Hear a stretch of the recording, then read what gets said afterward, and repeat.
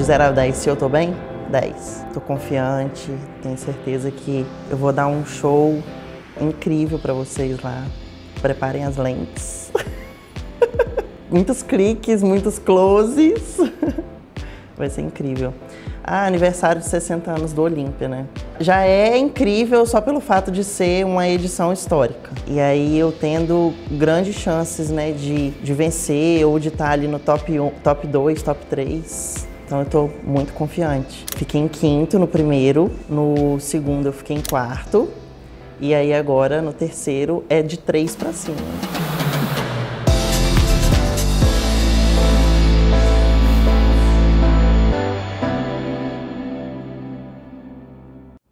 O Olímpia do ano passado foi muito top. Eu gostei muito, né? O Orlando, a vibe ali da, das casas, todo mundo pertinho.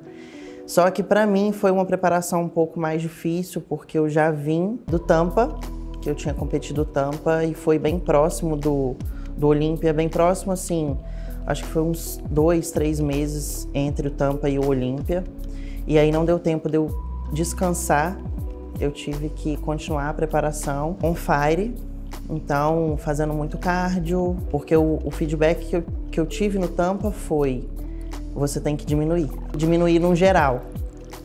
Então, para isso é dieta apertada e cardio. E os treinos também a gente reduziu intensidade, aumentamos o volume. E aí foi uma preparação bem puxada. E aí a gente chegou lá em Orlando o meu físico simplesmente parou de responder. E isso faltava seis, sete dias para a competição. Ao invés do meu peso descer, meu peso começou a subir. É o metabolismo entrando no mecanismo de defesa ali, né? E aí eu olhei para o Antônio e falei assim: e aí? E agora? Porque a gente que é atleta, né, que está no topo ali, que é referência, a gente tem que apresentar um físico melhor a cada campeonato. Se a gente apresenta um físico inferior, você meio que queima o seu, o seu filme ali na, é, não só na sua carreira, mas na mídia também, né? Apesar de não ser um atleta que se importa muito com a opinião da mídia, mas o hate vem.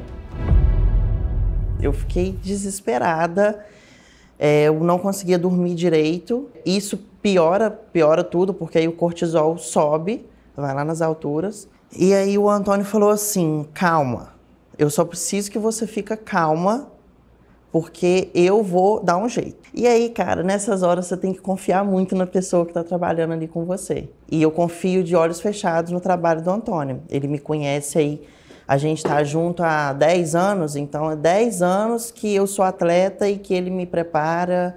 Então ele já conhece o meu físico como a palma da mão. Ele falou assim: o seu físico está com cortisol alto, ele está se defendendo. Eu vou deixar você descansando, você vai ficar um dia sem fazer nada e comer carboidrato. No outro dia, o meu físico já era outro. E aí era isso que ele estava precisando. Claro que se eu desse mais dias de descanso, seria melhor ainda. Mas não dava tempo. Então ele me deixou descansando um dia, porque aí depois a gente já teria que entrar com os treinos full body para puxar o resto de água. E aí ele não me deixou zero carbo nos últimos dias. Ele foi me dando refeições com 50 gramas, é, ou quatro biscoitos de arroz, aqueles maiores que tem lá nos Estados Unidos, né?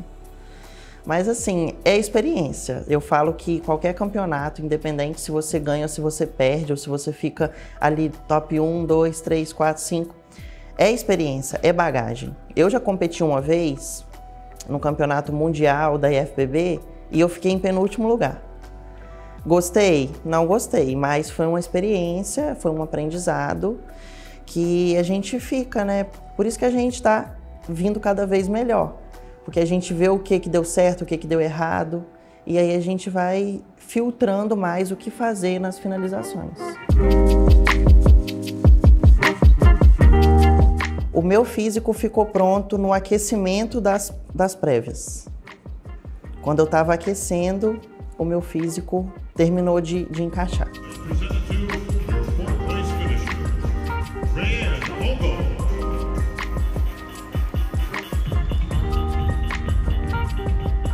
Após o Olímpia, né, eu desci do palco nas finais Já fui pegar o feedback com os árbitros e aí eles falaram: você tem que diminuir.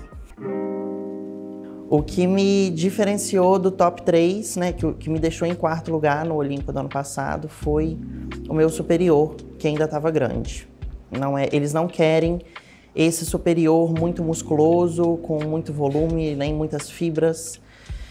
Então a gente descansou depois do, do Olímpia. A gente preferiu não subir no Arnold Ohio, dar mais um tempo de descanso para eu ir encaixando ali o meu físico dentro do que eles queriam. E aí subi no Arnold, venci e conquistei minha primeira vaga do Olímpia 2024.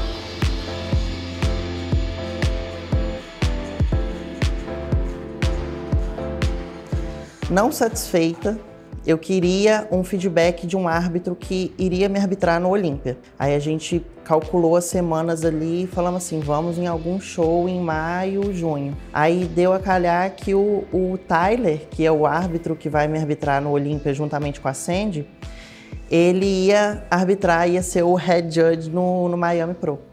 E aí a gente bateu o martelo, fomos e vencemos.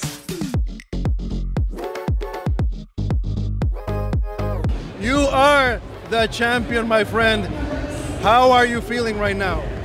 I'm feeling blessed. I'm feeling grateful. Uh, I worked a lot to be here today. Uh, I already had my Olympia qualification because I won Arnold Brazil in April. And the feedback that I received in Olympia, the last Olympia, was come back to stage a little, a little bit softer, you know. I and my team have been working hard on the feedback received and I think today I present all the package that they like it. Yeah. In the morning, for people that are watching at home, Ryan did bring in a softer package.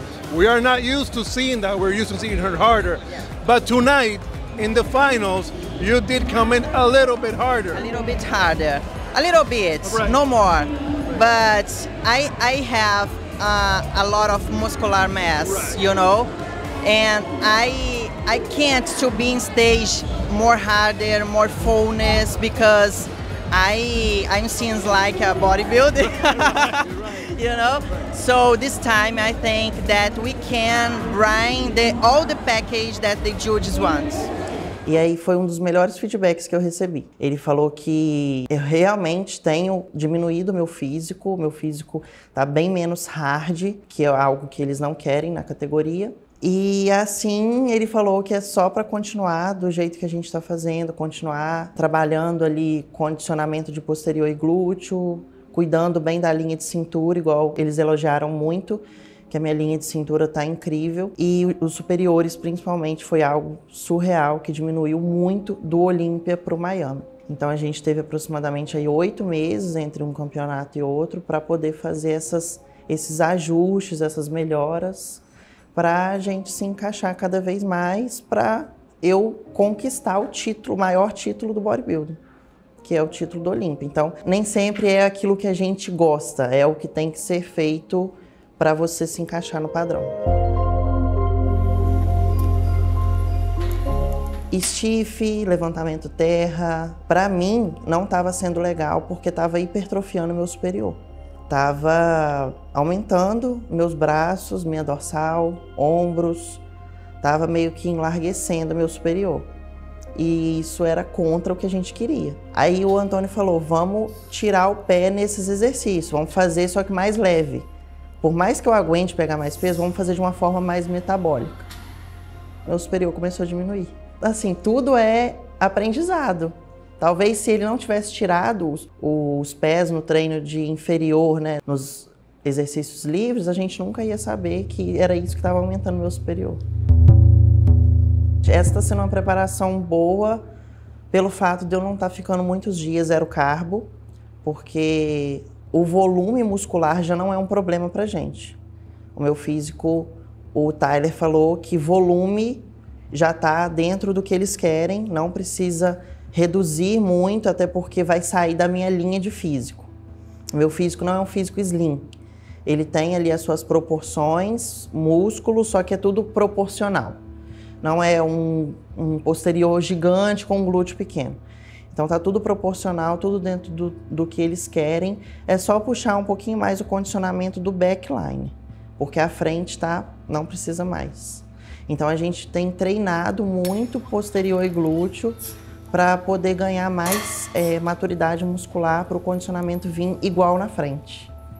Atualmente eu estou fazendo, eu estava fazendo até semana retrasada, três horas de cardio no dia que eu não treinava inferior. E no dia que eu treinava inferior era duas horas, uma de manhã em jejum e uma pós-treino. Aí agora ele já reduziu para duas horas no dia que eu não treino inferior e uma hora no dia que eu treino inferior. E a cabeça tá três horas rodando. Cara, não é fácil.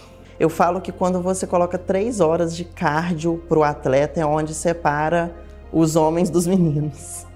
Para mim, a pior parte da, da, da, preparação não é passar fome, não é fazer jejum intermitente, não é treinar pesado, não é beber 12 litros de água no dia. Para mim, a pior parte de uma preparação é a hora ali que testa o meu mental, o meu mindset, é a hora que tem que fazer três horas de cardio no dia. Ah, as expectativas para esse ano são as melhores. É igual ontem teve o, o coquetel aqui, né? E aí me, me colocaram o microfone na minha boca e eu falei assim, cara, as expectativas para esse ano é subir posições, estar dentro do top 3. 3, 2, 1 mas eu quero muito a medalha grande do Olímpia. Seja ela qual, qual cor for, mas eu quero a medalha grandona. Eu já tenho duas pequenas lá, né, do top 5, top 4. Esse ano eu quero subir posições. A gente sempre mira no topo, mas porque se a gente errar, pelo menos a gente está perto ali, né? Então esse ano eu quero estar tá dentro do top 3 e as expectativas são as melhores. Agora, se for o momento de eu ser campeã do Olímpia, isso aí só, só Deus sabe. Eu sempre entrego todos os meus planos para Deus. Então, se, se Ele achar que esse ano eu sou merecedora e quiser me, me presentear com esse título, me honrar com esse título, vai ser o meu momento. Mas eu ficaria muito feliz estando dentro do top 3. As coisas acontecem quando elas têm que acontecer. Às vezes a gente fica indignado com algum resultado de campeonato, ah, mas eu estava melhor que fulano, eu estava melhor que ciclano. Por que, que, eu, que eu recebi essa, esse título, né? esse terceiro lugar, quarto lugar? E às vezes as coisas não são no nosso tempo, às vezes Deus está preparando algo muito maior para a gente lá na frente, então a gente tem que aprender a esperar, a fazer o nosso trabalho, não esperar sentado, mas esperar o tempo de Deus, que é perfeito e agradável. Quero muito também ser um porta-voz da categoria Wellness, é, apresentar a categoria Wellness para o mundo, né, continuar aí sendo uma representante da categoria, ir em outros países, fazer seminário, semear a categoria Wellness não só no Brasil, mas fora, né, porque esse mundo é grande demais e tem muitas meninas com muito potencial aí por esse mundo todo.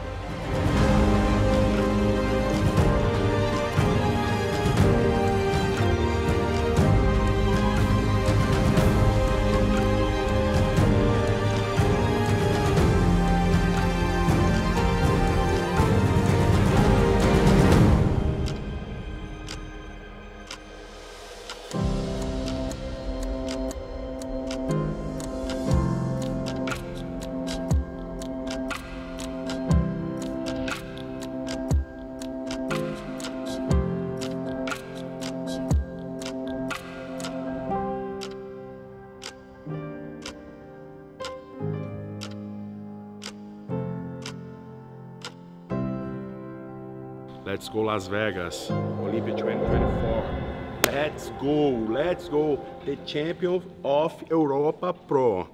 Bora!